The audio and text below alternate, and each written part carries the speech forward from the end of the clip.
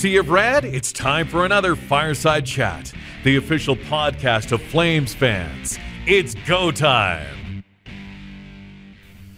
Well, we're back for another 82 game season, and by the time everyone hears this, we'll be on the verge of, I guess, twas the night before opening night for the Flames. Uh, the Calgary Flames kick off their season on the 16th in Edmonton, and as always, I'm Dan alongside Matt. We did it last week, but we'll say it again. We're kicking off our 10th season. And uh, Matt, we got yeah, a lot to talk about tonight. Exciting that the new hockey season is up, and you know fans are back in the buildings, and life is starting to. And a season that, even besides the fans, feels more normal. We're going to play 82 games. We're going to cross the borders. Yeah, it feels like hockey again instead of Bizarro Land, where you know Montreal, Toronto, and Ottawa are in our division for some reason. It'll be it'll be an interesting season, and of course, the first season of the Seattle Kraken. We should probably call out uh, congratulations to Mark Giordano for being named the first captain of their organization. Yep, and uh, hopefully he has a very successful season as the captain of the Kraken as they move forward, and uh, it'll be interesting to see how they do this year. I don't expect them to do what Vegas did, though. No, I don't think anyone will do that again. But enough Seattle talk. Um, we're not going to go through every one of the exhibition games since we talked last. But Matt, let's just sum it up. Some overall thoughts on the uh, the last four exhibition games since last time we talked. Well, I thought that the Flames had a few good young players uh, show some additional push to actually making the opening day roster. Uh, Glenn Gawdin actually did make the uh, opening day roster. Uh, but also uh, Walker Duehr and uh, Oliver Kylington, as well as uh, Daniel Vladar, all played rather well during the preseason. And all those guys that you just mentioned, but Walker Duehr, have uh, are on the really the opening day roster in, in some form. They probably won't all be playing, but they're at least on the roster. And really, Walker Duehr not making that doesn't surprise me. We'll talk about opening day rosters in a bit here, but um, guy who you know probably needs some American League seasoning. It's not very often you go from being a walk on to get an NHL job. Yeah, and the Flames did uh, sign him last season, but uh, it's one of those things that uh, he played well enough and very reminiscent of a player uh, that I liked previously, which was Garnet Hathaway. And so I'm hopeful that he has a successful start to the season in Stockton and can fight his way back up here. And for those that don't know, Walker Duehr was signed, as Matt said, as a free agent. He's from uh, Sioux Falls, South Dakota. He's been playing for the Minnesota State University in the NCAA, and last year I think played five games with the Heat, if I remember correctly. So got a little bit of a taste of the pros, and uh, that's probably where he'll be again. Mm-hmm. So I, I would agree with you about those young players. I think you know we didn't we didn't see a lot new from the veterans, but we didn't have to. I guess you know maybe we should have played Coleman less because he got himself suspended. Um, but you know I think we saw the vets look like they were ready to go. I guess that's the best way to say it. And as you said, guys that were fighting for a spot, I think showed that okay maybe they can be here. And I would say with Daniel Vladar, um, maybe I'm not as worried as I was last week when we talked about the goaltending here in Calgary. Yeah, and I think he played a lot, and the coaching staff and general manager even mentioned that uh, he, they played him a lot more than they normally would, just because of the fact that he didn't have a lot of ice time last year. And you know, I'm expecting that they're hoping him to be more of a one B, and, and like play on a regular basis instead of you know like the 10, 15 game per season guy and so to get him a lot of reps early to get him going so that way when the puck drops in the regular season you have a guy that's actually ready to go instead of trying to figure it out and you know might have some really bad games to start I think you're probably right. Any other uh, overall thoughts on the preseason? Should we jump ahead to looking at the season? Oh, it's just uh, encouraging to see that it, for once it seemed that the Flames as a whole seemed more prepared for the season in training camp. Like usually, like a lot of players are up and down, and it's like uh, you're like say like uh, Backlund a couple years ago was looking pretty awful at one preseason, and it's like hoping that he'll pick it up by the time the season starts. I think this year, basically everybody looked ready to go, and it was just more of a needing the lineup to actually be going. And, and I think maybe this year more than other years, Matt, that these guys realize they've got, I don't want to say something to prove, but they realize that they underperformed and they need to be ready to go right away. Well, exactly. Like last year, the Flames really, with the Flames division, should have been one of the top two teams. And they didn't even make the playoffs. And that basically signifies that, hey, you guys, your effort level sucks. And, you know, like things are bad. And it's no wonder that, like, basically every player that the Flames acquired this offseason are high effort players. And, you know, hopefully to drag everybody else that might be lackadaisical at times, get that, you know, kick them in the pants to get them going too. Because, you know, like, it's just not acceptable at the NHL level to be as passive as the Flames have been over the last few years. And I think some of this comes down to, and we won't talk about it now, but I think some of this comes down to the fact that they now have an identity, which we'll get to mm-hmm. after we look at this roster. Yeah, I agree.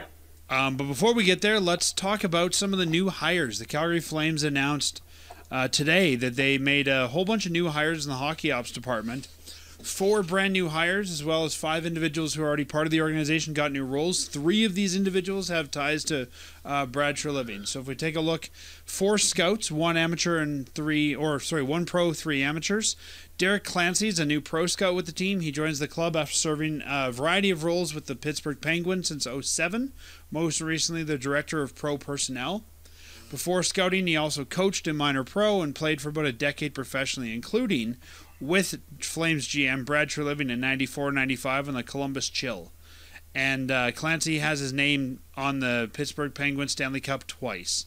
He has three rings, didn't get his name engraved one of the times that he got a ring. So I, I think, like we talked about earlier with players, uh, we just want guys around this team, hockey wise, who have a ring. And a guy who's a pro scout and knows how to scout for a team with a cup is a great thing.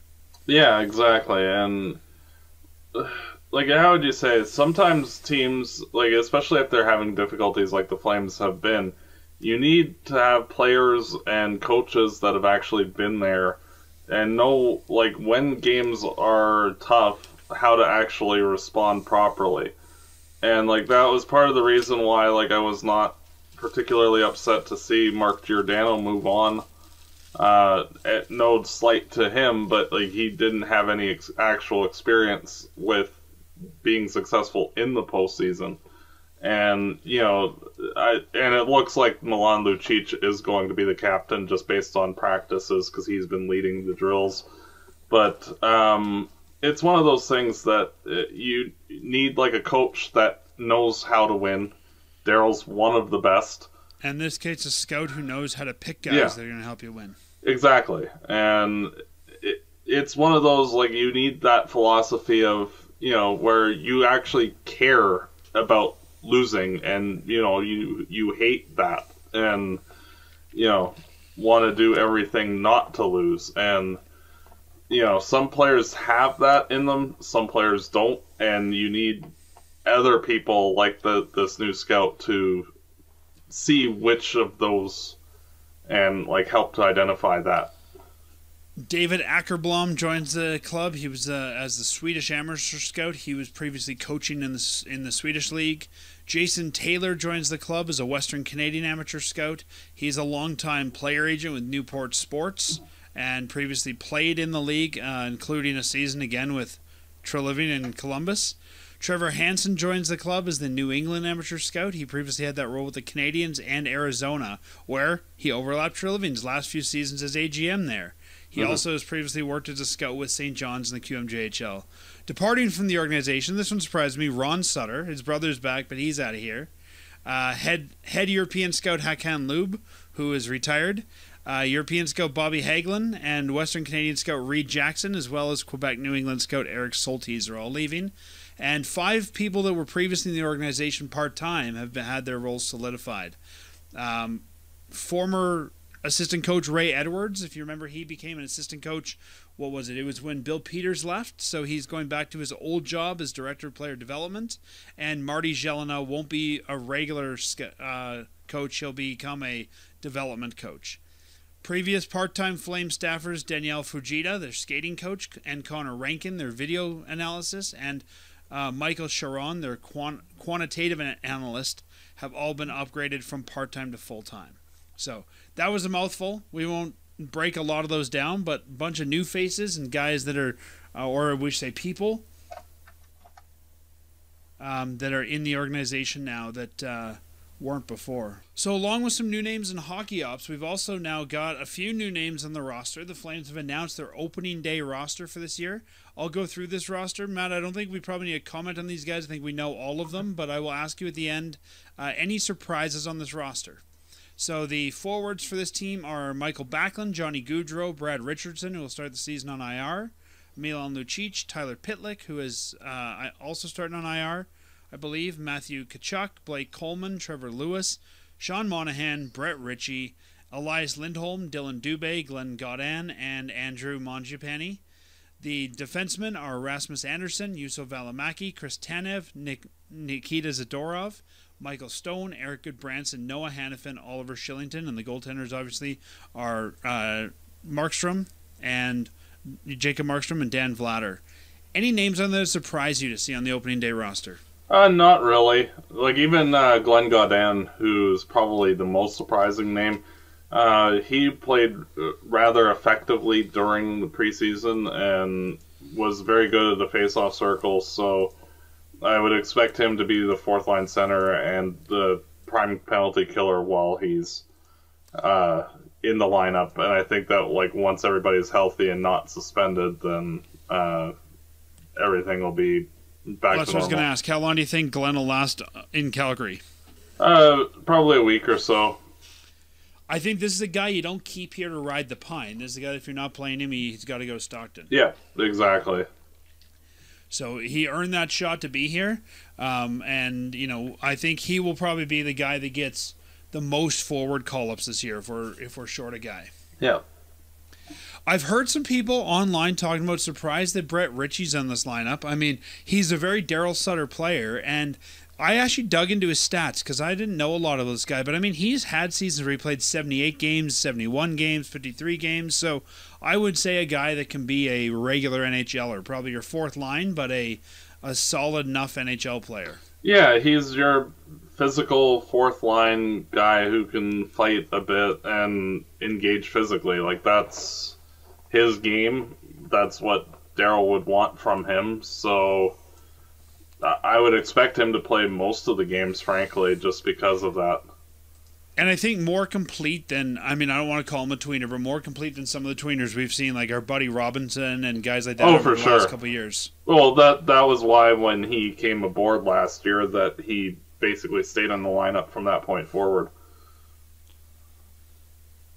Um, and then the the other thing, if we take a look at the Flames back end, they've got one, two, three, four, five, six, seven, eight defensemen. Do you think they're going to carry eight defensemen for the majority of the season? Probably. Uh, like the only guy that I could see being sent down is Stone, because I think Kylington played his way where, like, if the Flames exposed him on waivers, that he would not be a Flame. If, uh, if Kylington gets, um, why don't we just do that last part? Yeah, I'll again, start from Sh- I'll start from Kylington. Sure. Uh, with Kylington's play during the preseason, uh, he pretty much played himself into a role where if the Flames expose him on waivers, that some team will look at him and probably claim him because there are, are a lot of teams that need depth defensemen, and you know he played well enough that he turned some heads, and you know I think that Kylington will probably play most of the season here. I think that they're trying to iron out some issues with his a few defensive lapses, but you know, the that's basically been the problem with him right from the get go anyway. I feel like Kylington's definitely going to stay here. I think you're right. He would probably get claimed at this point, but I I think that he's probably destined to be the number seven this year, and I think he's got to beat Gudbranson to be the number six. Yeah.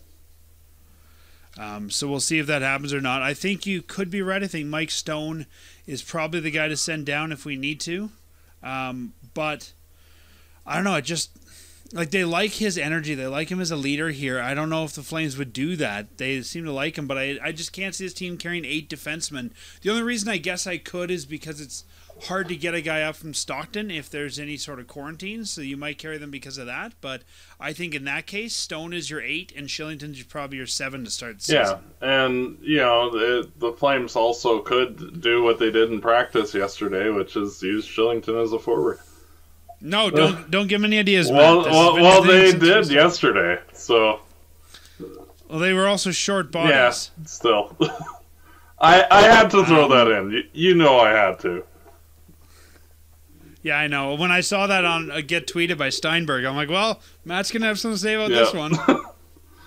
um, but I think that I think they're probably carrying eight guys just because it's gonna be tougher to get a guy up from the farm. Yeah. And you know what? I hate to say it. I think that with a Daryl Sutter style play and the Daryl Sutter style team, I think we're gonna have more blue line injuries than we usually do. Yeah, so I think I carrying eight guys will probably be useful. Yeah, and uh, uh, just to add on to that, like I have liked what I've seen from both Nikita Zadorov and Erik Gudbranson uh, in the preseason. It's nice to have some physical defensemen, and yeah, they're prone to some defensive lapses, but you also need to make life difficult on the other team. And make them worried about going into those danger areas and you know because like if you know that Zadorov's going to come and clock you if you're in that area you know you're gonna be a little reticent to do so. And it, those little things you know like yeah he does make some mistakes same with Gudbranson but i think that the positives of that physicality will outweigh the negatives from time to time as much as you're saying Gudbranson makes some mistakes, I mean, let's be honest, he's a number six on this team. Show me a number six that doesn't make mistakes. yeah pretty much like you know he's an adequate That's why that's why you're number six. Yeah, exactly. Like, uh when's the last time you've heard of a number six who's like an awesome player? Unless you're a Stanley Cup team and you you're just stacked. And I think that this team would really like Zador. If we think of Zadorov as being our second pair and Valley as being our third pair, I think this team would like to flip flop those guys. But I think that um, it's not time yet. Yeah, and I think that But I could see by the end of the year the Zadorov Gudbranson pairing being sort of our blues, our Bruise brothers, our next iteration of Phaneuf and Yeah. Well, exactly, and like realistically, since Regehr left, other than the couple of years that Derek Engelland was here, the Flames really haven't had a physical presence on the blue line, and No. you know, it's one of the things that frankly has been lacking a lot because teams don't have to worry about going and skating to the front of the net because they know the defensemen aren't going to hit them or make their life miserable. And, you know, those two, they will make your life miserable. So it's it's a small dynamic, but especially like when you get to the postseason, we saw how impactful Derek Engelland was against the Canucks and you know even to a lesser extent against the Ducks in the second round. And you know those kinds of things matter when the games matter more. Well, I think what you were saying there, Matt, is interesting because I think for the first time, looking at this team in the preseason and knowing kind of you know who our coach is, finally a coach that we know what to expect, uh, we have an identity.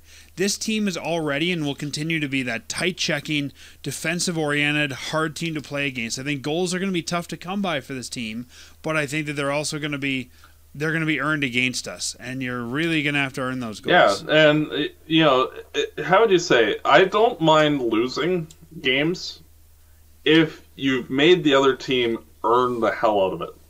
It's when you're playing poorly the the Or you're playing 40. What this team's reputation's 40 minutes and they're done. Exactly, and it's those kinds of games where it just infuriates you because it's like, uh, where's the effort, guys? You know, but you know this team is going to make everybody earn every inch on the ice, and that the opponents are going to have to keep their heads up at all times because if it's not the defenseman hitting you, the Flames have like four or five good forwards that can also deal a lot of punishment. you know, like it's going to be one of those where all the opponents now are going to have to realize that they're going to have to keep their heads up when they're in Calgary, and that's going to throw their game off. And that's successful for us because, like, when we've seen other teams that have a set identity, like Chicago, like Boston, in the past, like, they just come and play their game. And, you know, you have to beat them. And Calgary hasn't really dictated the play since probably nearly 20 years ago. And I feel like, you know, there's going to be some guys that are going to need to adjust to this. I think some of our star players who are maybe used to sort of playing their own game, or we've had some coaches that have sort of been had a reputation as players coaches, quote unquote. Um, and you know guys that are maybe tailoring to what a star player wants or how they want to play. So I can see some growing pains, but I feel like now everybody knows what's expected. You know what you got to do. You know what you got to do to not ride the pine. Go out and do that. Yeah, and frankly, like I know some people have been concerned about Gaudreau. Frankly, uh, in Daryl's system, Gaudreau's going to be perfectly fine.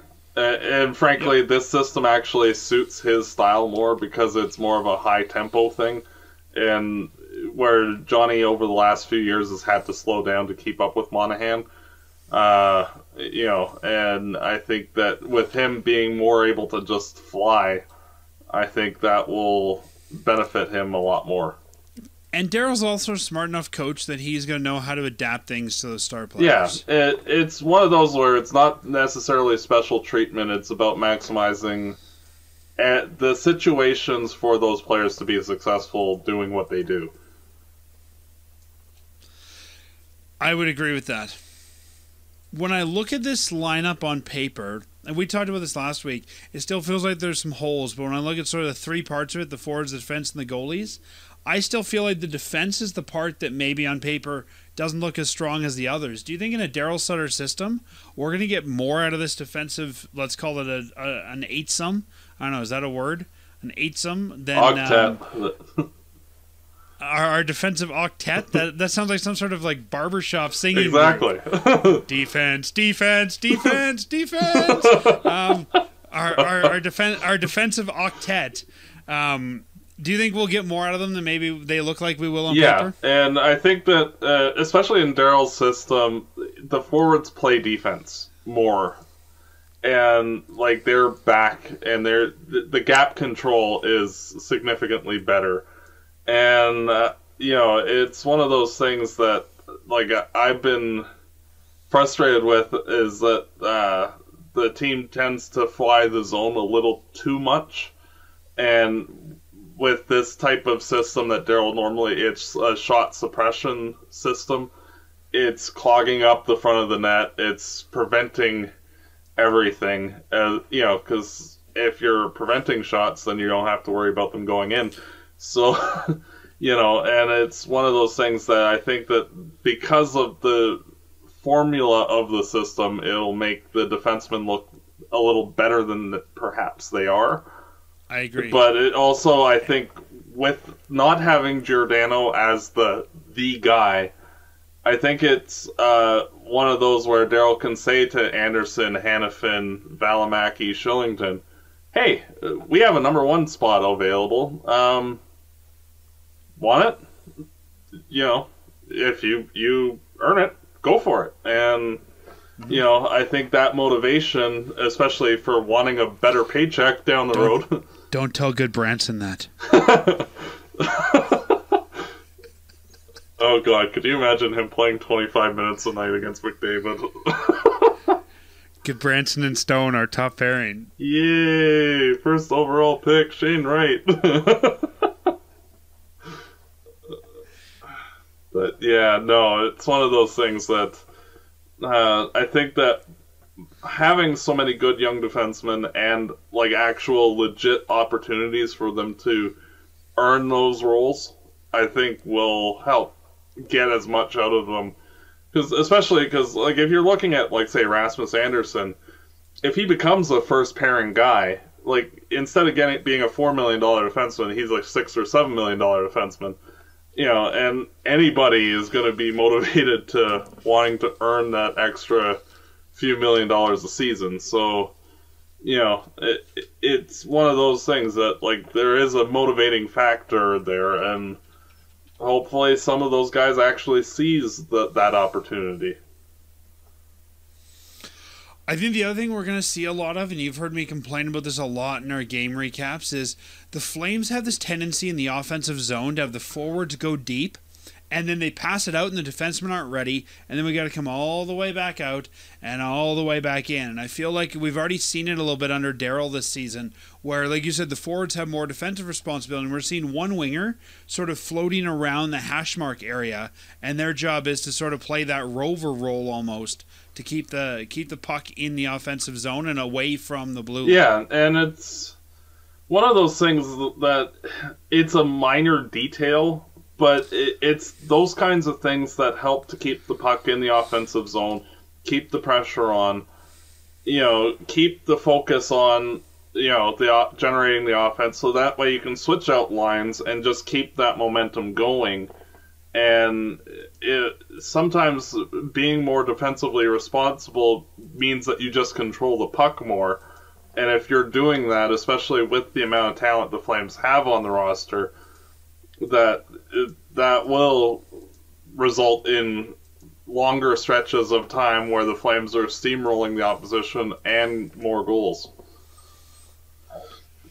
So Matt, I think last year was a disappointing year by all standards. Yeah. I mean, can you think of a can you think of a standard that wasn't disappointing last year? Um, not really. Um, frankly, that, I guess that maybe was the the hiring of Sutter was the non-disappointing yeah, part. Yeah, like uh, that was pretty much one of the most embarrassing seasons as a Flames fan that that I can recall. Like it, for a team that should have been a top tier team in that division to miss out, like it, it just yeah, like that's not acceptable in any way, shape, or form. So I guess what do we need to see from this team overall? Do you think to see progress? I mean, it's easy to say everyone's got to play better, but to me, I think we need to see. And I pinpointed these. I think we need Hanifin to play as though he's a number one D man. He's the guy on our team that has had that number one D man experience. I think can step back into that, and Tanev's the right partner. I think we need Monahan to bounce back, but not to bounce back as a number one center. I think he's been overplayed there, but I think we need Monahan to bounce back into a non injured form and solidify himself as a solid number two. And I think a number two that's less of a playmaker and more of a, a goals. I'll just go through these and then we can break them down while I'm thinking about them. Um, less of a playmaker, more of a goal scorer. I think Markstrom needs to bounce back. He played injured a lot of last year, and I think Mangiapane and Dubé need to keep developing. Yeah. And frankly, like if you look at the team, like once Blake Coleman's back from his suspension, like he'll probably be playing in the top six with Mangiapane and uh, Monahan. But uh, you're looking at this team where, like, the first power play unit, you're likely going to see Hanifin plus Gaudreau, Monahan, Tkachuk, and Lindholm. Mm-hmm. And so, like, it's not like Monahan being banished to the second line means that he's not going to get opportunities. Um, especially, like, even when he was the first line center, frankly, he was, like, getting most of his points on the power play anyway. Mm-hmm. So, you know, like, that won't diminish. And. And I don't think him being a second liner is banishing him. I think it actually helps to make us a deeper team. Yeah, and like he's not particularly good defensively and no. Like what? But if you pair them up with if you pair them up with Monge and Coleman, I think that you know they can help to hide some of those weaknesses. Yeah, well, you see, and that's the thing. Like with Monahan, like if he is your number one, like you're going up against the other team's number one, and generally the Flames would be on the losing end of that particular matchup just because of generally the other guys are more complete. And now with Monahan being a second line center, his defensive game is less of a big deal because he'll be matched up more on the like second tier guys and second tier defensemen. And you know it'll make his day a little bit easier. And I think that Daryl will help him to learn how to play a defensive game better and I think he might be one of the more improved players by the end of the season. But um, Yeah, and uh, having two quicker guys like Coleman and Mangiapane on his line will help, uh, especially like if there are uh, transitions the other way. Those two guys are a lot faster to get back and you know allow him to get there, you know, and Do you, do you think we're going to see Johnny and Monty broken up for the for, for the majority of the season for the first probably, time? which that's a good thing. I think. Yeah, I think your first line is probably 13, 28, 19, and your second line is uh, Coleman, Monahan, and Mangiapane. So I think you'll definitely see some play time with Gaudreau Monahan, but I think we've we've done that. We know what's there, and I don't think it was what we needed. Yeah, and especially sometimes, like, say, like, the first line's not clicking on a certain night, you can easily flip Coleman on that line and Gaudreau down to with Monahan. And, you know, uh, like, you know the chemistry is there. They know how to work with each other. It, it's sort of like with Chicago, how they separated Kane from Toews. And, you know, it, it worked for a while, and, you know, but yet whenever they needed to, they could easily reunite them, and I think that that's what you'll end up seeing is like, if, especially if the first line's not going on a certain night, to shake it up, you you have that option. I'm also curious to see if Sean Monahan will remain the number two center all year, or if Michael Backlund could take that spot. And I can totally see a, a scenario where maybe Monahan gets hurt again, or Monahan gets in a funk, and Backlund's looking really good, and you flop those two for a little bit. Yeah, could see that too. Yeah, You know, and I don't know. I like a Monahan, Lewis, Lucic line, but there's enough guys there you could play around with. But I think we've seen in the past whenever Backlund got relegated to third line, and he seemed to be upset about it. Like if you watch the sort of the post game media and whatnot, he's usually quite upset. It seems when he's been sort of a third line guy in the past when it was Monahan one and him two. So I think he's going to be a guy that's really gunning to get into the top six. yep, and that level of competition in the team is a good thing. And you know, if you earn it, good. If you don't, oh well. Do you think that we that we see Elias Lindholm as a center all year? And Matthew Tkachuk is starting right wing. Do you think that's where the team's going to use him long Yeah. term? Do you think he's kind of our right wing solution Yeah. now? Well, even like when he was drafted and that, and like after, uh, uh, I repeatedly suggested uh, throwing him on the right side with Gaudreau on the left. So um, him being over there, how would you say it? Just as an, a tangent, like I've never really understood why you would not want the guys that are your good shooters like Tkachuk that are on the wing to be on their offhand it, because when they're sh- they've got the puck on the right side, their sticks facing the center part of the ice, so they have a lot more to shoot at, and like that's a lot more advantageous to you than you know the stick facing the boards because like y- you don't really have a lot to shoot at. Yeah. Because like I, I used to play goal uh, when I was younger, and like anytime I'd see that, like you, you can kind of cheat as a goalie because you know that like he's only got one lane to actually shoot at you, and you know you can pretty much cover that whole section, and he, he has to pass it if or you know do something interesting to create a space for himself, and you know that with Tkachuk being on the right side, I think that'll be a really good thing, especially with his level of shot. Yeah, I don't disagree on that. Uh, while we're talking about Tkachuk, if we look around the league at top lines in the league and top lines of teams that expect to be good teams, do you think that Gaudreau, Lindholm, and Kachuk stacks up as a top line for a, a contending team this Yep. year? I think that's a top ten t- line in the league. And when I look at this lineup as a whole, there's really nastiness on, or what I'd call sort of your Daryl Sutter Western Canadian player on every line except for that second one. I mean, Gaudreau, Lindholm, Tkachuk. I think Tkachuk get to play Tkachuk's game again, which I think hindered him last year. I think the third line, you got Lucic and Lewis. They got that sandpaper. The last line, you'll have Richie's got that sandpaper. Are you worried that in the current lineups, um, Dubé, or let's even say Coleman, Mangiapane, and Monahan, that there's not that real sandpaper Well, if there. Coleman's on that line, Coleman is definitely that guy. Like he's very much in that he's He's in that Yeah. grinder-ish, but can score. He's a good two-way. yeah. I guess you're probably right. Yeah, and like if you're putting Dubé on the third line, you can have that agitator guy on the right side, and you know, like there's enough where you can spread the wealth, and basically, like this team is going to have enough quality players who are also physical. Like Milan Lucic is a quality player who can also, you know, put you through the boards and having guys like that through the lineup and on the defense core that will make sure to keep that in the minds of the opposition and anytime you can distract the other team from their game even a little bit and have them thinking about things that aren't on their game sheet that that's an advantageous thing for you. And because you can just do your thing and you don't have to worry so much about what they're doing. And I think also anytime that you can, um, anytime that you can sort of make a guy not want to play here, and I think that's going to be the biggest thing this year is you're going to see guys just not want to come here and not want to deal with the Flames. Well, look at Edmonton uh, when uh, Hemsky was playing it. I'd rather Yeah, not. and you know he would come up uh, against Regehr all the time, and Regehr would make him, you know, enjoy his time in Calgary.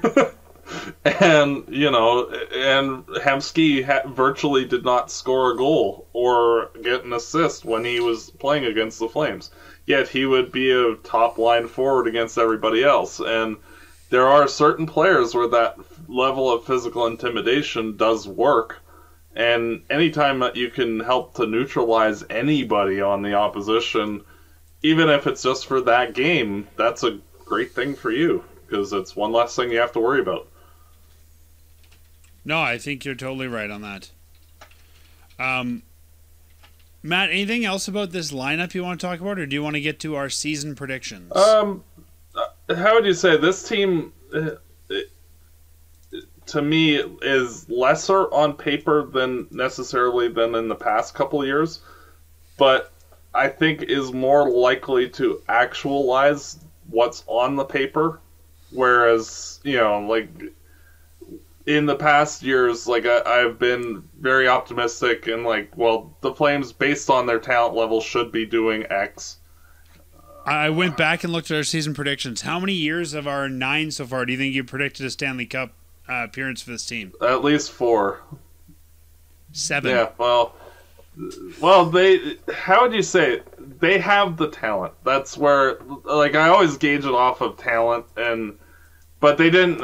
I think you're right though. These guys look worse on paper this year. Yeah, but it's part of the that whole attitude and identity, and the Flames really haven't had an identity since 2004, really. And now this team, they're a skilled team that will also bloody your nose, and you know that is a, successful combination and has been in the past.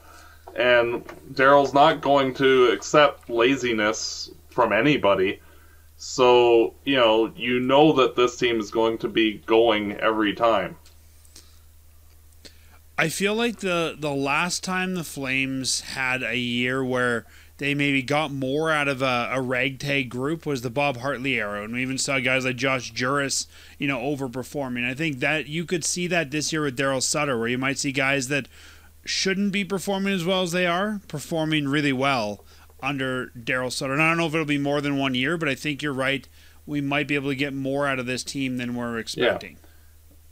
Yeah. I agree. And I I also think part of that's going to be helped because, um, really, I mean, let's be honest. I think part of that'll be helped because we have a, a bad division. oh yeah, year. like our division frankly is trash. Like you have the three of the five worst teams in the NHL last year with LA, Anaheim, and San Jose, and an expansion team, and Vancouver and Edmonton. Like really, you should make the playoffs this year just by default. But you know, uh, we said that about last year, and they found a way. so you know, um, yeah, no. Frankly, the Flames they should be right there with Vegas. You know, going toe to toe for most of the year. especially because of the weakness of our division. Like we should be winning most of the games against our divisional opponents. Just I would agree. I'll tell you right now, my prediction for this division is Vegas and the three Canadian teams. Yep, I agree. Well, let's. Uh, we made a prediction already with that. Let's jump into the prediction game. For those that are maybe new to listening, we do a couple prediction games every year. We do weekly predictions and we do season predictions. So we got a lot of predictions to make tonight. Matt, I hope you got your crystal ball ready. Um, we're going to talk about season predictions. These are predictions for the whole year, things that we'll, we think might happen for the Flames this year, or things that we want to talk about maybe happening um, for the year. And we will look back on these at the midpoint and then at the end to see how we're Yep. doing. So Matt, I'll jump right into this. Who do you think? Which player do you think the Flames season most hinges on? Who do you think, if they have a bad season, this team could fall apart because of? Markstrom. Yeah, Markstrom? I'm gonna. I think. I think you're right, but I'm gonna say Tkachuk. I think.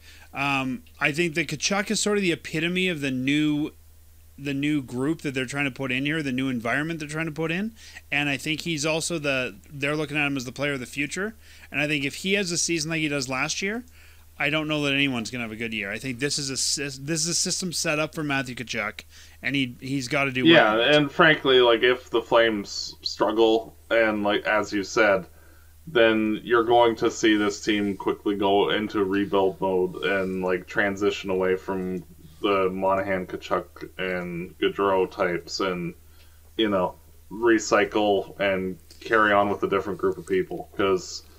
You know, like if it, with And- this being set up in a way, as you said, tailor made for Tkachuk, if you can't actually do it when it's working specifically for you, then you shouldn't be here. you know, like, and we should go with something else. And yet he and Johnny are in a contract year, so you know they're going to have stunning Oh yeah, years. well, uh, that's the good thing. All right, I'm going to ask you the same question, but I'm asking in two different ways. Who needs to have a breakout season? uh, that would be Andrew Mangiapane. Who will have a breakout Andrew season? Mangiapane. I believe in the bread. And what I, I mean, he's had I would say breakout seasons for him every year. What would a, another breakout season for him Thirty look goals. like? And I think I Okay. think he actually has that in him. I think that um, World Championships thing last year. I think he's finally putting all of the components together, and I think that you'll start to see him being more of a dynamic offensive forward, and you know, start generating offense by himself more. And with his foot speed, and if he has good line mates, which he should, I could see a lot of opportunities for the bread man. I'm going to give two other opportun- two answers here for who needs to have a good season. I talked about him earlier. I think uh, Sean Monahan coming off injuries now he's healthy in sort of a new role as number two. I think he needs to have a good season. Who will have a good season? I think Noah Hanifin. I think Hanifin's finally going to be able to show what he's got as a a young number one. Yeah, I can agree with that. That would that would And have been my to see him breaking out. yeah that year. would have been my second pick for. Uh, actually, your both your things that would have been my second on both. Okay. Yeah, I just think, and I said this to you back when we acquired Hanifin. This is the guy that's the heir apparent to Gio, and now it's his yeah, time. exactly, and that's why with having four good young defensemen, you know, if not Hanifin, somebody has to take it, and yeah. And I think it could be Andersson, but Hanifin just has that experience. Oh, I number one. agree. Like I think he's further along in his development. I agree entirely. On the flip side, who's going to struggle this year? When we look back at this season in, you know, maybe April or hopefully not, hopefully late June, who are we going to say, wow, that guy really Michael struggled? Backlund. You think so? Why do you think backs? He was not very good last year, and I think he's on the downward trend of his career. And I think that he might struggle to keep his game at a level that we're used to. And uh, with him, it seems that like if his offensive game isn't going, his defensive game lapses. And because like when he was actually playing well last year, he was good at both ends of the ice. But when he was struggling offensively, he was a true liability out there. And I think you might see him start to slide backwards.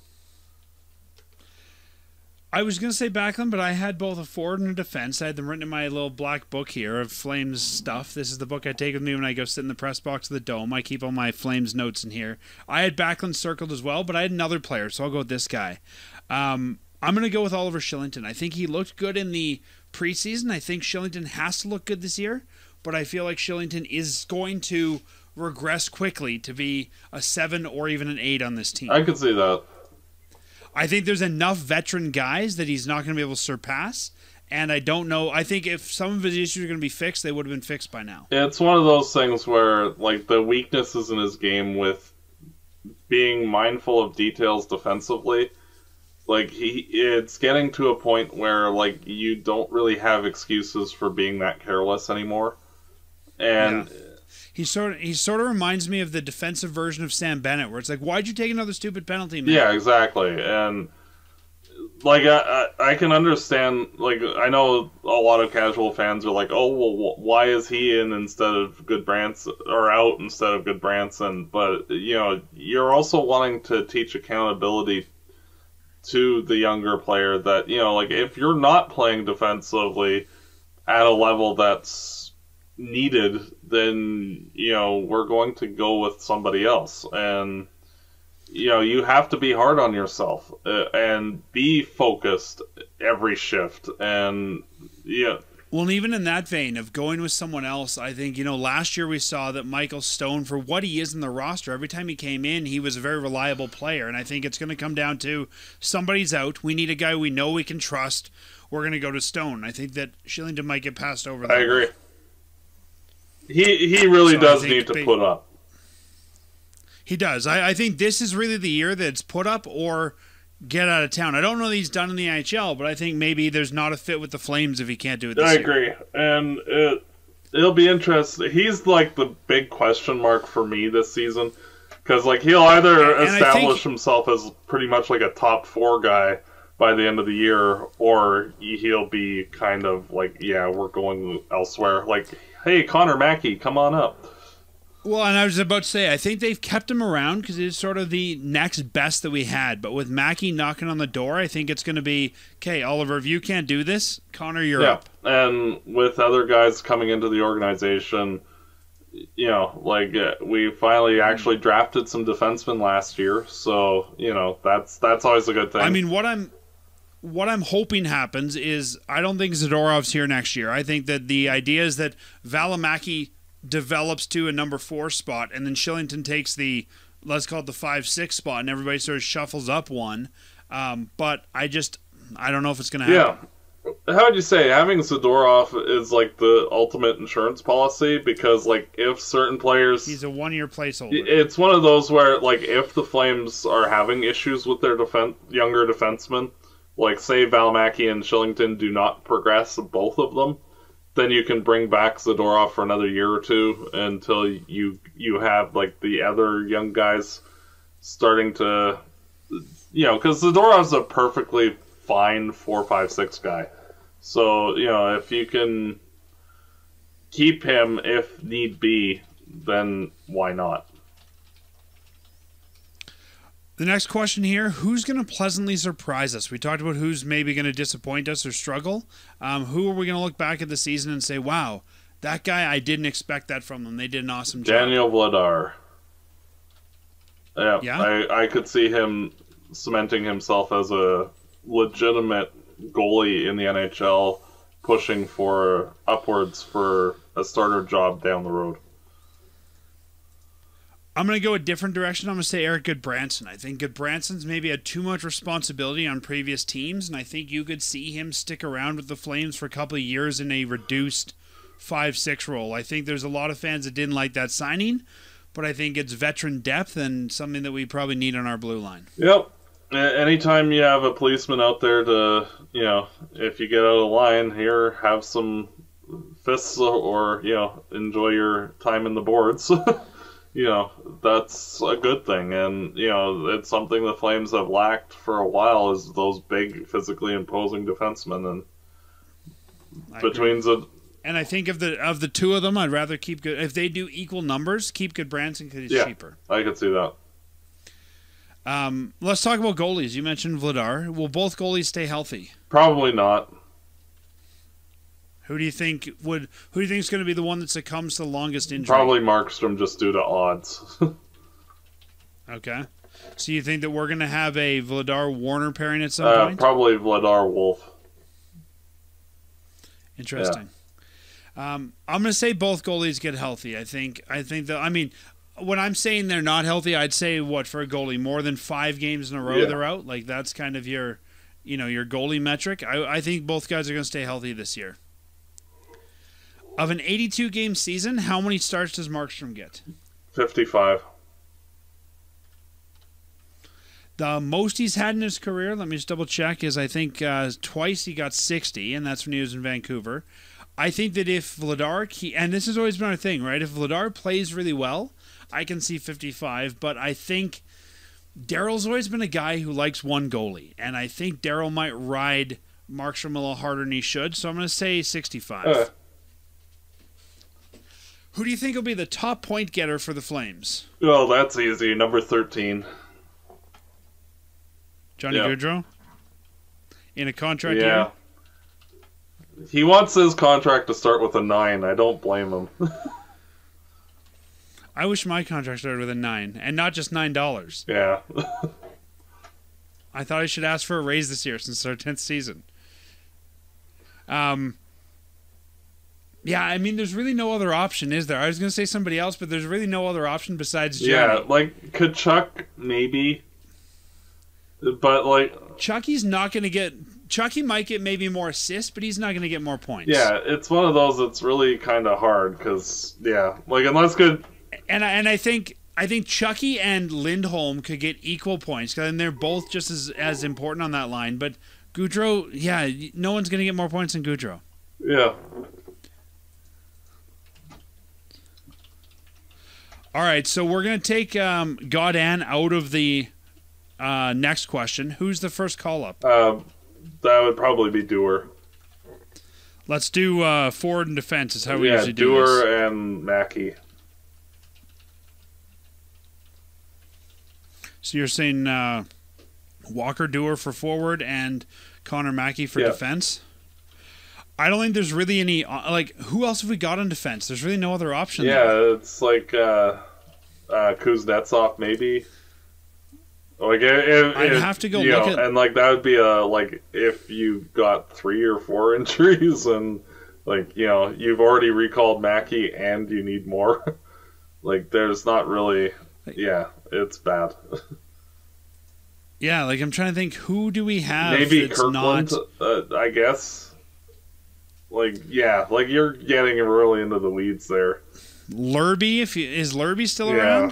uh, it you're getting into the weeds really. Like Yeah, I, I think I think you've got is Petrovic still here? no, uh, I think he went to Vancouver or Seattle or something Okay. like that.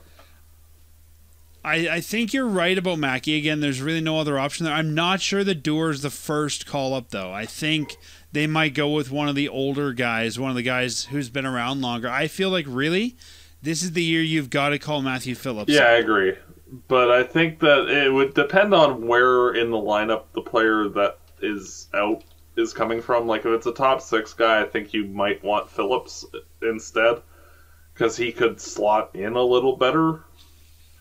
Uh, whereas, like if See, I think though if it's a top six guy, you've got to me if it's top six, you're going to move Dubé or uh, back. yeah, I agree. But then you're uh, like I, I'm imagining that you would uh, slot Phillips in like say Dubé's spot type of thing.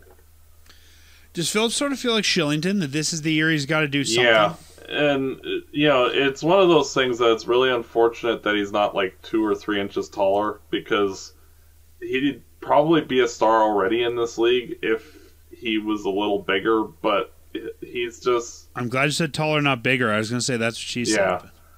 it's just one of those things that it, you know, with his lack of size, it, it's yeah, it's going to be tough. And And I, I, I hate to say this because I like him. I think this might be his last year as a flame, but I think somebody else will take a flyer on him, and I can see him being involved in some sort of move at the in the yeah, I agree. And like I would be like I'm hopeful that he'll make the NHL because he does have a significant amount of talent, but you know, he also kind of screams AHL All-Star for his career kind of or like going to Europe and kicking some butt. Yeah, I can also see him being that guy who's like a Jamie Lundmark, who's perpetually your your tweener. Yeah. Good enough to be in the NHL, but nobody really gives him that yeah. chance. Um, who do you think? Will, you think that we we've talked about who the first call ups will be? Do you think those guys or any call up will be able to take a full time roster spot? Do you think we'll see a guy sort of like the year that Dubé got called up and stayed up? Do you think we'll get a guy called up and stayed? Uh, not really. Uh, like the most likely would be Duehr, I think, uh, just because he if... plays that good two way physical game that you know, like if one of them was going to stick, he's like the most viable in his role. That See, I would say, and I mean, he's already here, but I would say if there's that guy, it'd be Gawdin. I think Gawdin could get sent down and then called back up if there's a long term injury and stick. But he's on the opening day roster, so he doesn't. Count. Yeah, that would have been my selection think... if it wasn't for the fact that he's already on the team. So yeah, it's yeah. yeah. And I think we've got enough guys that we're not going to need that. Like if let, us just say somebody gets hurt. I think Brad Richards or you know Tyler Pitlick, who aren't even on the lineup right now, come in. Like I just, it seems very clear the Flames don't want prospects in the roster this year, and I think that they've loaded up enough veteran talent to make it so that doesn't have to. Yeah, happen. and how would you say with like all of the veteran guys that they they sign, they're all extremely reliable players who care and give it their all and it's better to have those guys, especially in your depth roles, with where the Flames are, than having guys learning on the job. I agree, and especially if you think you're going to be a deep team, deep teams. Look at any deep team; they are veteran laden, and I think that's the one I, I would say upgrade we've seen on this lineup. I think we have a lot more guys who know what they're doing and know how to do it than a lot of either tweeners like Buddy Robinson's or just a bunch of you know young pieces that don't really know what they're doing, like uh, Dominik Simon, who've been around but not of any significance. Yeah, and or Josh Leivo, or or or or or or you know, every year has those. Who do you think would be the first flame traded? Oh, uh, First Calgary Flame to get traded. We've never done well with this. I look back at all nine seasons. Every year, the guy that we think will get traded generally sticks around for two or three more yeah, years. I think the only time that we got that right was Frolik. But we also predicted Frolik two or I three know, years. but hey, eventually we were right. Practice yeah, exactly. Um, unless the Flames are making the Jack Eichel trade at some point, I don't really. I don't. I don't think you can make that trade. I know. I don't really see there being anybody that would be traded off the roster. You no, don't think so? Like, uh, how'd you say? Like, if the Flames are like in, you know, like seller mode at the trade deadline because everything's gone wrong, then probably Gaudreau. Um, okay. But that would be a like if the whole season's been a huge, you know disaster and like we're one of the worst teams in the league, then sure, you you sell off your free agents. But yeah, I don't see that happening. So it's kind of. I think the Flames would be vastly more likely to add a like a four or five defenseman at the deadline than anything. Interesting. Okay, and that's actually one of the questions I'm going to get to is uh, about the deadline. So we'll come back to that. Um, on the Flames trade front, I have two names I put down here. Um, just give me a sec. I'm just going to mark down your answer of no roster player. All right, perfect. Sorry, Google Google is uh, not responding.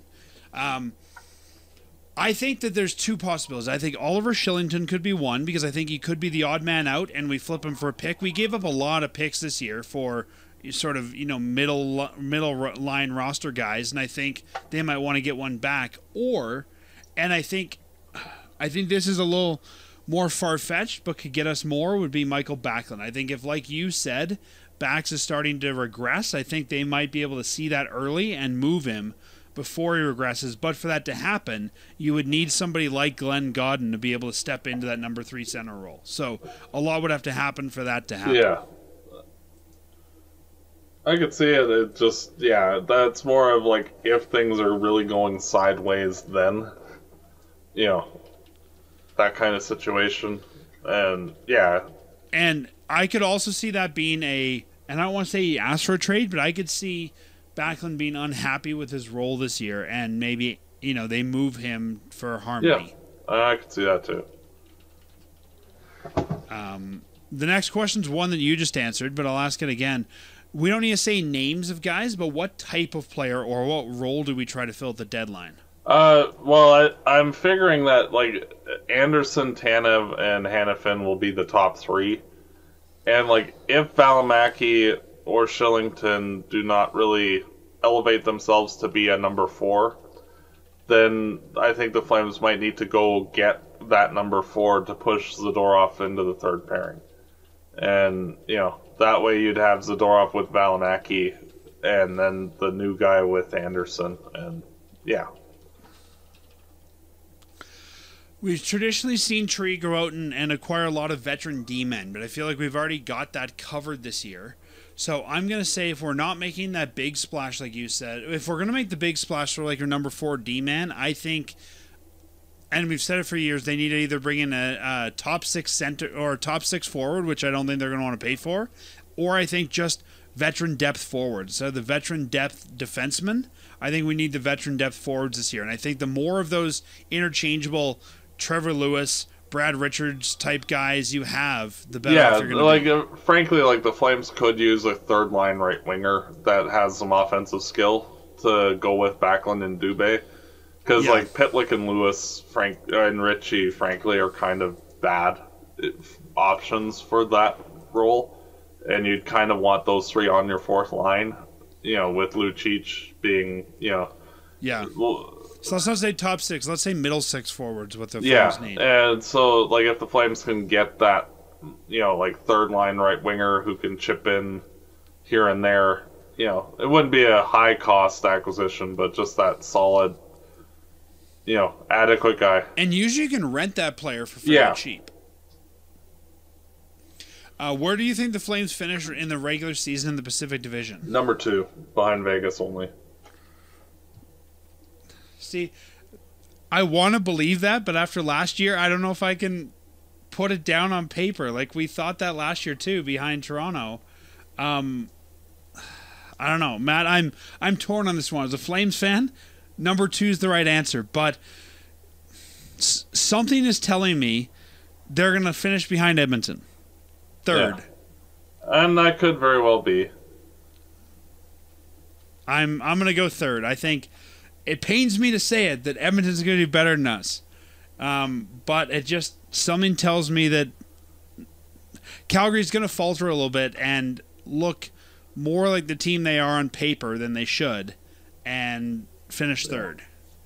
Still in a playoff spot, but I think lower than Edmonton, above Vancouver. Yeah. And like I don't see any of the California teams rebounding, and I'm not confident that Seattle has enough talent. Period to be a playoff team. So it's one of those things that uh, it'll be interesting. I think Calgary and Edmonton will be close to each other, and I think Vegas will probably be ahead of us by like eight or ten points at the end of the year.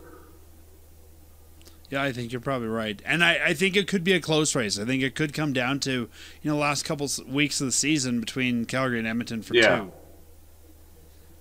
How many regular season points do you think we get? Uh,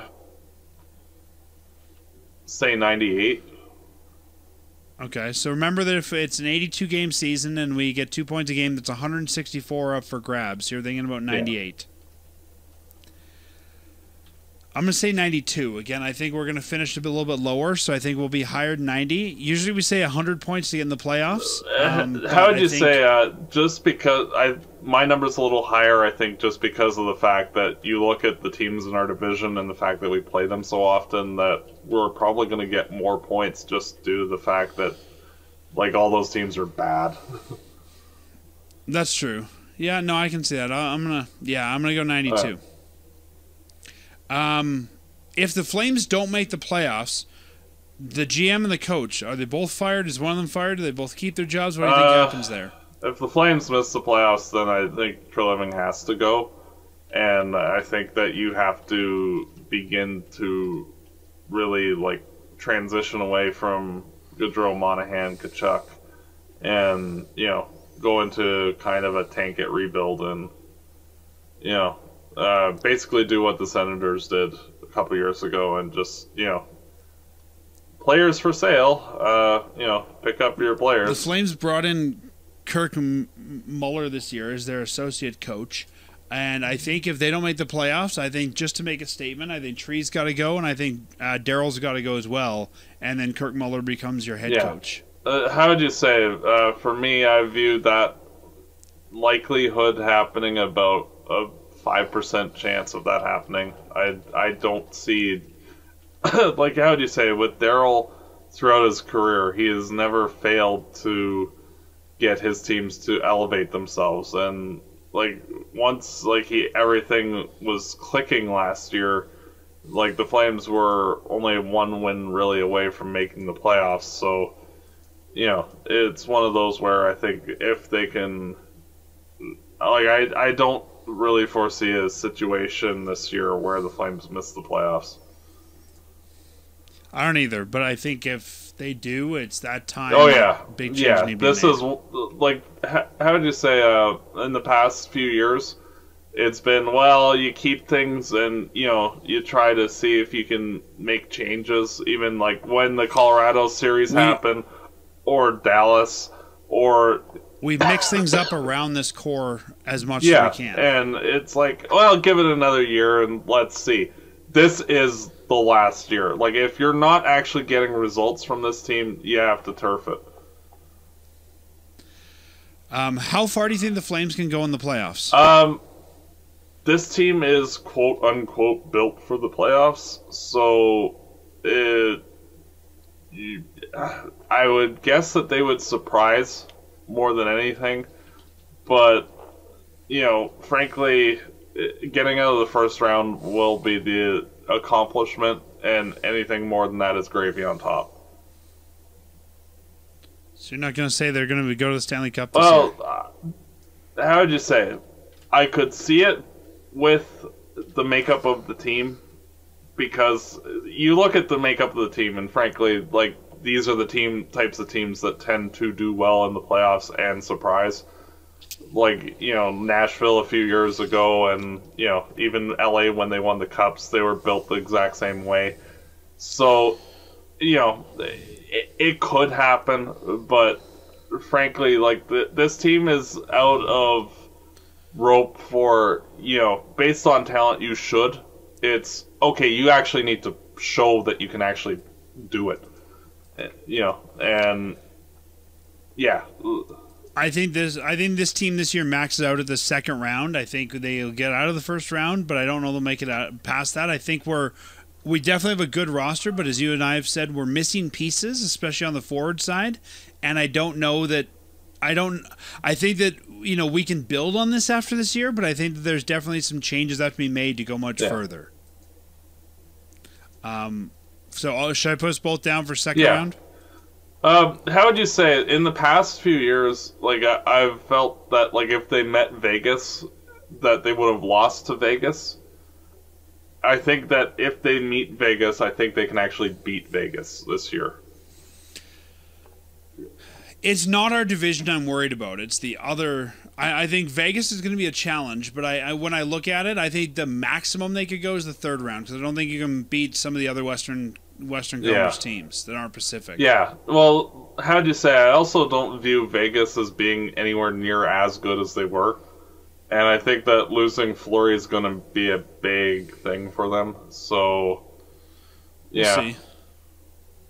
Yeah, I just I, their overall makeup. I'm just not feeling that they're quite as Even like there's I'll be honest though, I, I kind of feel like you, but I don't think if if I have to predict now on the 14th of October, I don't think Vegas makes it out of the first round. They they sort of get swept by an underdog. Um, maybe not swept, but they get taken out by an underdog for the same reason they don't have their goalie. And I think Calgary has to worry about somebody else in round Yeah. two, and somebody more hungry because they just took out the the number Yeah. one team.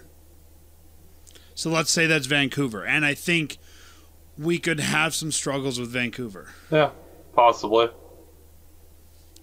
So I'm going to go second round. I, I'm not convinced. I they could go to the third, but I'm not convinced it's going to happen. I agree. It's one of those that, like, you know, the, how would you say, like, uh, I've always been a little overly optimistic just based on, like, the level and degree of talent that, you know, like, you guys could do this. It, now it's, you have to actually show that you can figure out how to, what end of the stick is up when the time counts. And, and and I just think it's unrealistic to go from missing the playoffs to Stanley Cup No. Finals with you know the the changes we've made. I think second round is the building Yeah. block. Oh yeah, and it's one of those where you reevaluate, you know, each of the players after this season. Like if say they make it to the second round and all that, you know, you reevaluate and you carry on, and you know, like eh, how do you say, like if they say face the Oilers in the first round and lose, then I think that like you, you're kind of like, yeah, you guys kind of suck, and you know, like changes are still gonna have to happen, but. Yeah, On the playoff topic, who's our unexpected playoff hero? eat bread. You think he's the unexpected Yeah. guy? Interesting. Okay. Well, I'm talking like I'm- for people around the NHL who might not necessarily like they would know Gaudreau, Monahan, Tkachuk, Lindholm. Uh, I, I don't think anybody really knows eat bread, so I think he would be the guy that would be like, "Oh, hey, this guy's really awesome." And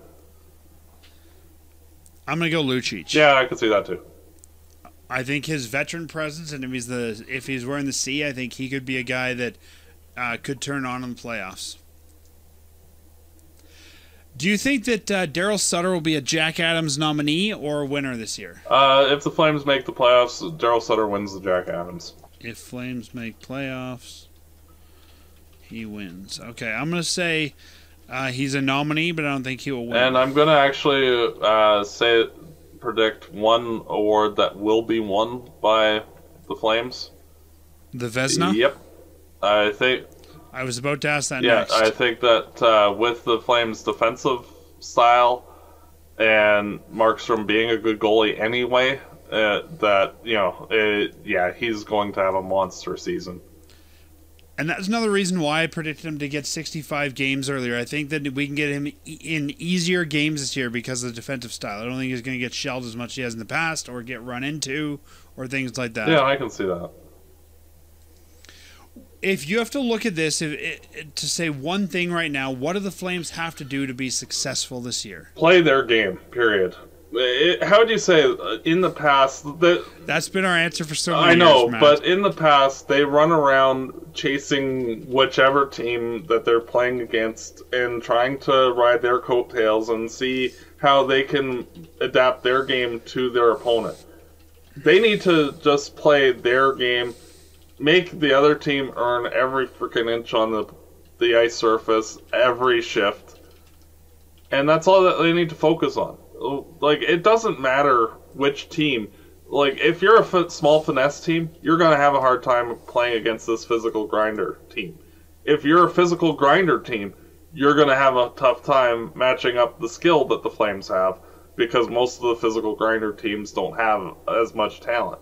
So it's one of those things that the Flames because of the fact that they have that versatility but yet the identity that it's gonna be you know you're gonna the flames have the, the their team basically set up as a gauntlet where you know we can capitalize with our skill guys but you know if you do get the puck not only do you have to beat all of these really tough physical guys but then you have to go and try and score on the six foot six guy that's actually really good you know and like you're gonna have to earn it and as long as the flames are playing in themselves they don't really need to worry so much about what the other team's doing.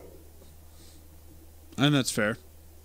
I'm going to say something similar. I'm going to simplify mine and say they need to be hard to play against and everybody needs to buy into their role. And this is another reason why I think Backlund might be the first guy out of here. And there's going to be one or two guys that aren't going to buy into their roles under Yeah, Daryl. I agree. I want more offensive time. I don't want to do this. I don't want to, you know. So I think that I think there's going to be somebody that gets shipped out of here because they're not buying into Yeah, their role. and uh, And if you and if you get guys like Gaudreau just want to go out and be the finesse forward, that that things are going to fall apart well, as well. how would you say? Um, not necessarily. Like I think that in any system, really, you have space for a guy with a, specialty skill, and Gaudreau is kind of an, an his own little planet by himself. Where you know, because he is one of the top dynamic players in the NHL, and he kind of just has to be able to have the freedom to do his own thing to an extent. Like, yes, be defensively responsible and preach that, mm-hmm.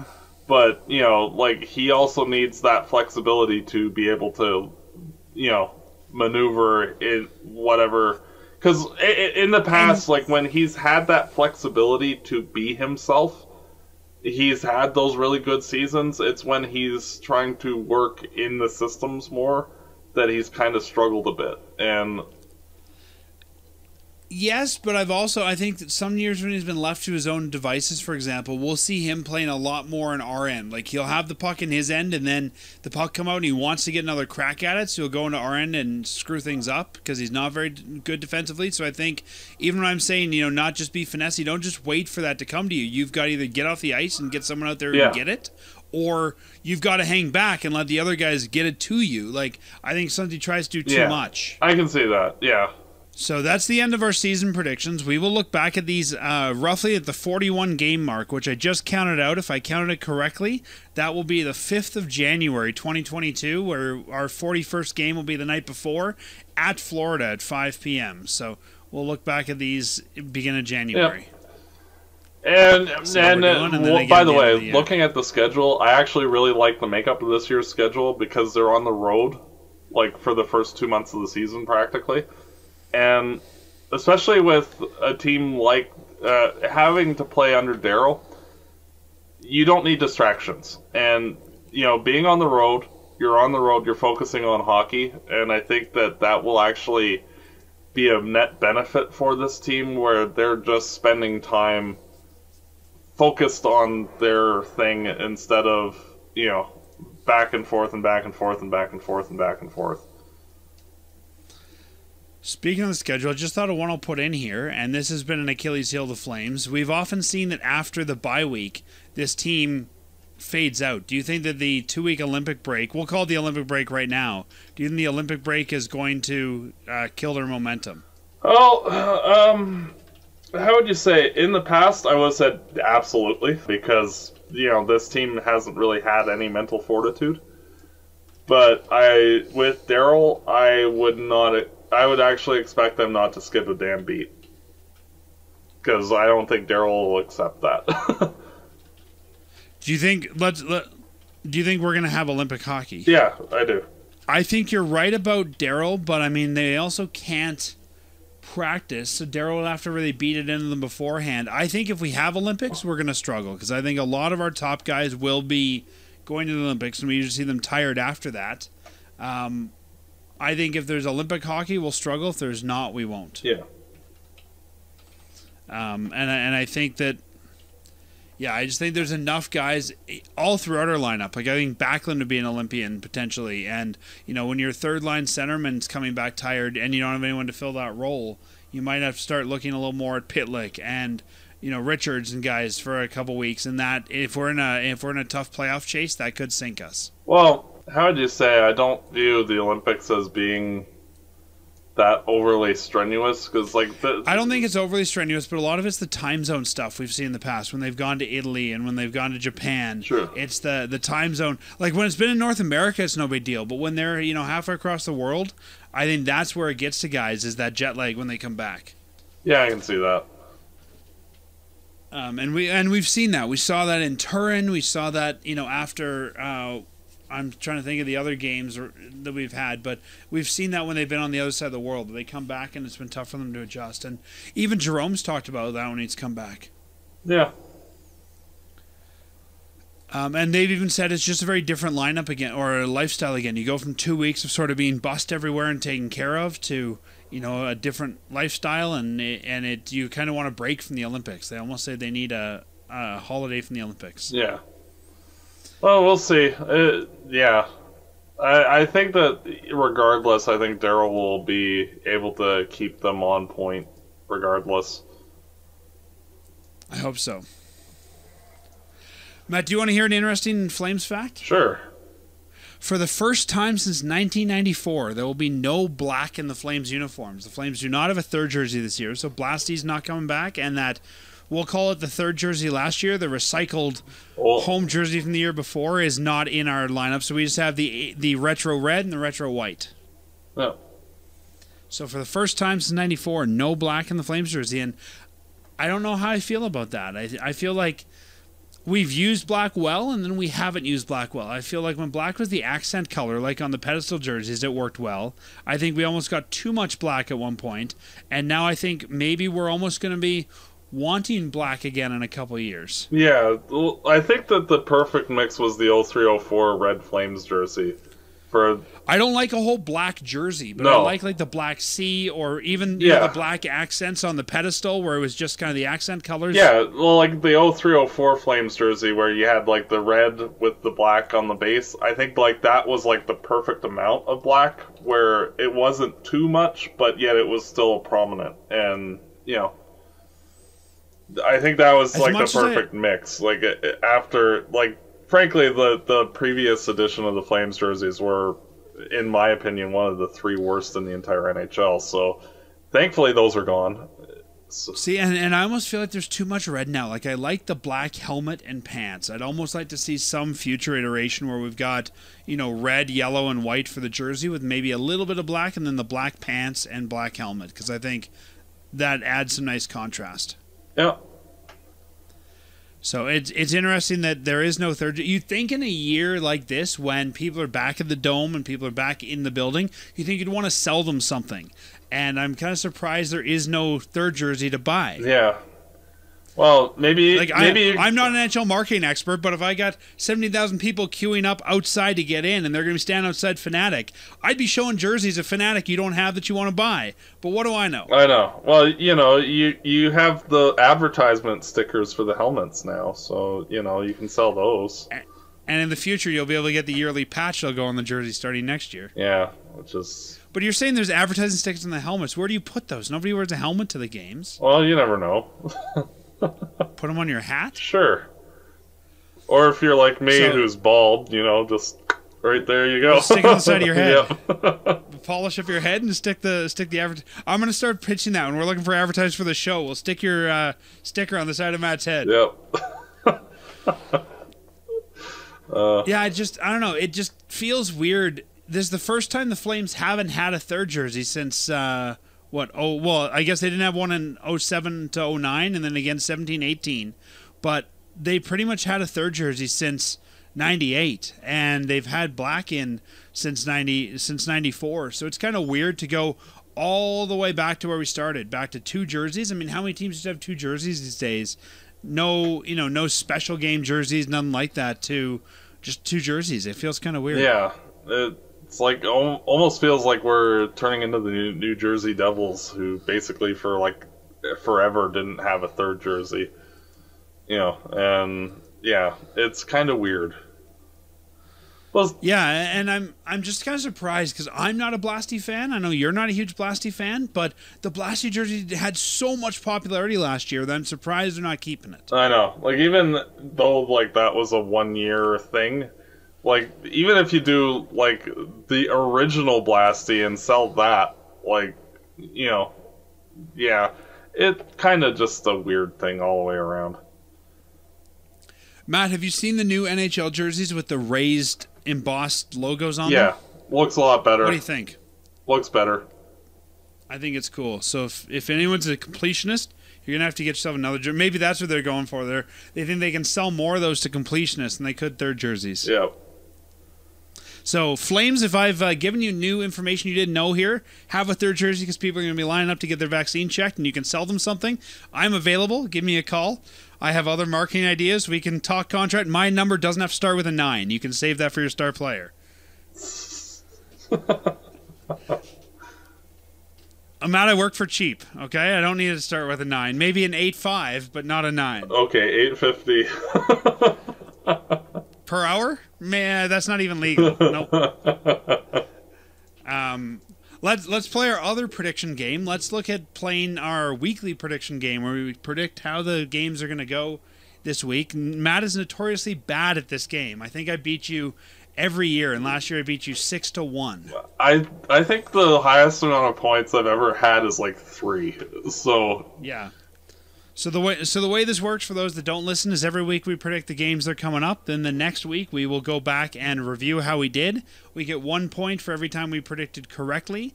And uh, usually, as you can tell, if we did six to one last year, we don't do very well. But Matt does especially terribly. Yeah. we've even had guests that have done better. Like I think we've had like Mike on here like three times, and even he's doing better than you. yeah, uh, it is what it is. We've had Peter Marin once. If he would have predicted, he'd probably be doing better than you. Yeah, probably. It's not hard, Um, so Matt- you know. Like if you get it right even once, you're you're gonna beat me. So yeah, So Matt, let's uh, talk about the games coming up this week. We have two games. The Flames have a week off, and then on the 16th, which is this coming Saturday, probably right after most people hear this, an 8 p.m. start as the Flames kick off their season at Edmonton, and then on uh, the following Monday, the 18th, the Flames have their home opener versus Anaheim, 7:30 start at the Dome. Interesting stat for you here: the Flames have not won a home opener since 09 and when they won or sorry a season opener since 09 and in that game brandon prust was the guy who scored the game-winning goal to get a 5-3 win over the vancouver canucks and that was also the last time the Flames, I do believe, won a home opener too. Because like it's they they've been pretty bad in home openers as well. So i bet brandon prust never thought he'd hold a flames record yeah, for that long. I I'm going to say that uh, for the first time in 12 years, the Flames will win the first game of their season, and that okay and how they do in the second one and they beat the Ducks too because they suck. I'm gonna go two and oh. zero. Interesting. You're usually the opposite. You're usually a guy who you're either going all of them, and then the next week you'll say none of them. So Yeah. I think we know that uh, after this, what is Detroit, Washington, New York, um, and New Jersey. So I guess we're gonna have Three you and know- one. Three and one. You think so? Yeah, but anyhow, I think we're gonna win against Anaheim, but I think Edmonton is gonna want to uh, come out strong in their home opener, and I. I don't know we're going to win that, so I'm going to say we win Edmonton. We win Anaheim, lose Edmonton. uh, Again, as much as it pains me to say it, I just think Edmonton's gonna have our number this year. We've had Edmonton's number a lot lately, but I think I think this is gonna be a year, honestly, when Edmonton's gonna best us. how would you say? I think, and you know, I might be wrong, but you know, their efforts. usually are. Not when it comes to Edmonton. I'm actually quite accurate when it comes to them, because you know, uh, you- Maybe you should be on their podcast. I'll work a trade if you want. no, no, thanks. Uh, I'll send you over there, and I'll see if I can get some sort of Uh, pick in next year's podcast or entry draft. Yeah, I, I like to cheer for good teams instead of, you know, whatever that is. Anyhow, um, I think the Oilers' efforts at like improving their depth are not really going to help their team, and I think that the goalies are going to be worse than they were last year. I would, I, I think I, the goalies will be worse. I would, I think the defense will be better, though. yeah, it's one of those things that if McDavid or Draisaitl get hurt at all, I could easily see them missing the playoffs outright.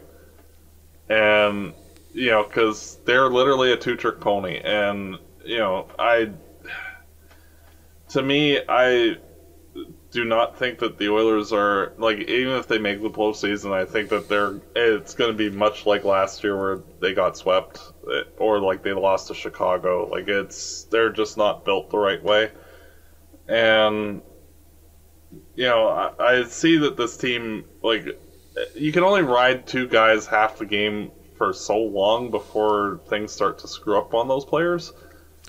I I don't know. The Oilers are going to do really well, but I just think they they might best the Flames this year.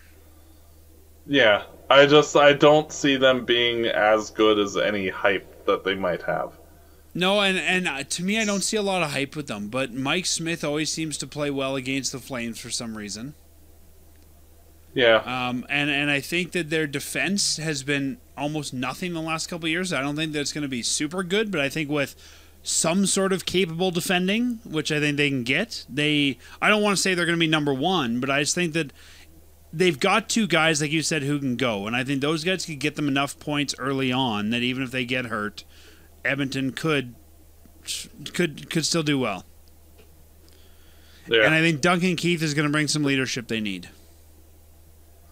Yeah, I I still think that like they're overrated a lot. I don't disagree, but I think if there's one team that I think could jump the sort of prediction in the in the Pacific, it's them. It's not going to be Vancouver.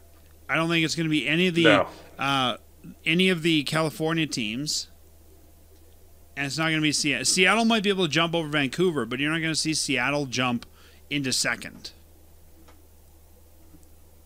You're not going to see San Jose do it. You're not going to see Anaheim do it. Like I just think Edmonton's the one team that could play spoiler that way. yeah, They're the only team that could play spoiler. yeah. I was about to say like this division's quite bad, so yeah. Well, let's hope that It's just, uh, yeah. I just uh, like I, I'm just still confounded by the Oilers because of the fact that you know having two of the best players in the league and they're still that bad. Like it just it's mystifying to me. But yeah, Um, well, let's hope you're right, man. We win both the home opener and the season opener, and that'll be, I think that'd be monumental for the Flames if they could win both of those. yeah. Well, it would be nice for this team to actually start off the year hot for a change instead of you know like 500 hockey. Yeah, because usually, I mean, you and I are usually complaining about, you know, these guys not doing anything really until like Christmas, Yeah, and then they get hot, and then like they that- fall apart at the uh, at the end of January. What what are they called? The bye week in the past. Yeah, I know, and I think like getting off to a hot start, I think is imperative, especially with so many road games. I think you're probably right.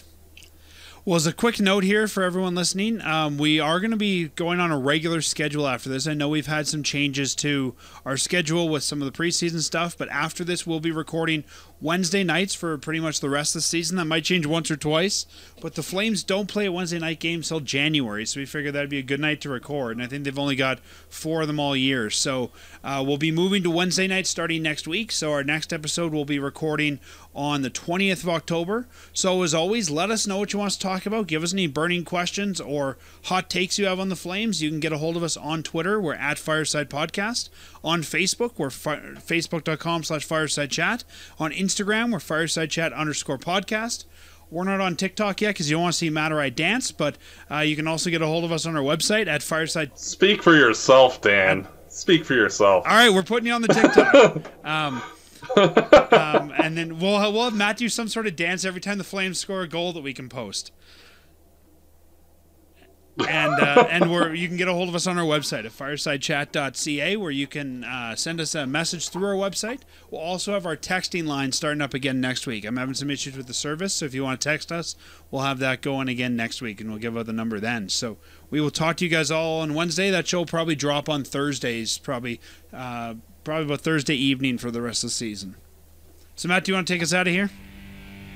Yep. As always, go Flames, go. Fireside Chat is hosted by Dan Stevenson, co hosted by Matt DeBorg. This episode produced and edited by Peter Marino. Fireside Chat is licensed under Creative Commons license. For full license details, visit firesidechat.ca.